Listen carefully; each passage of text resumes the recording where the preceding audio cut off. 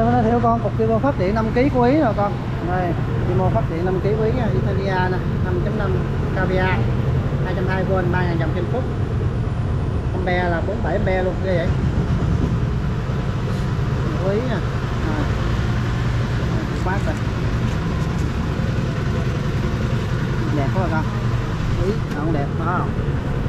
Nguyên con mới cây xe ben điện ý 5 kVA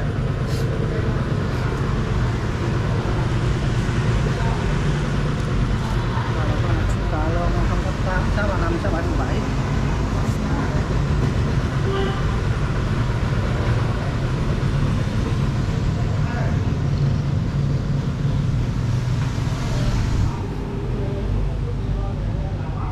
mẹt ý. 5 kg rưỡi 5.5 kVA. Nào con xài biết nào.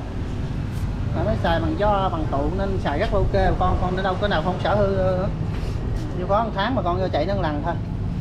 Không sợ hết than hết đồ tại nơi xài bằng tụ rất ok.